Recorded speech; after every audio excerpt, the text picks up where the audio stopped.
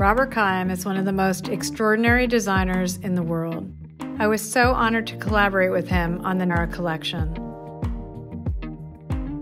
I have always admired Robert, and we share a love of so many things, Japan being one. So we decided to take an inspiration trip together. We started in Tokyo and ended in Kyoto.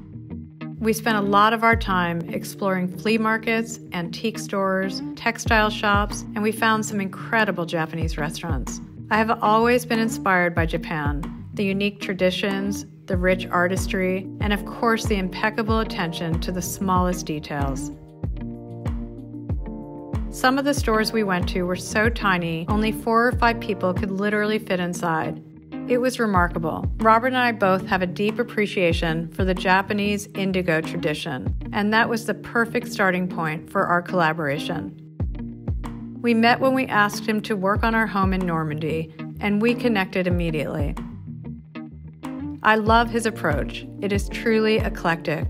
He has no rules and he mixes objects from different centuries, countries, and genres. Everything looks finished but undecorated. I love that. It seems as if it has been there for years. Cherry blossoms, butterflies, birds, and bamboo. We wanted it to be humble but incredibly chic.